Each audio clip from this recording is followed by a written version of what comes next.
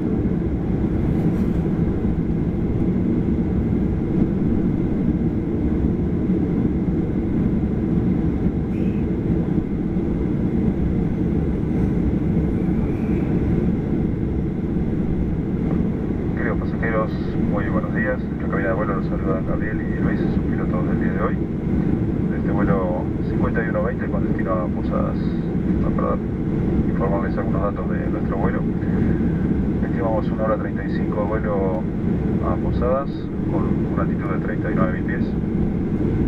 La meteorología hoy se presenta bueno, bastante variable, ya está mejorando sustancialmente aquí en el parque, igualmente con bastante viento, algunas ráfagas por lo que les pido especialmente observar las indicaciones de cinturón de seguridad y mantenerlos cómodamente abrochados.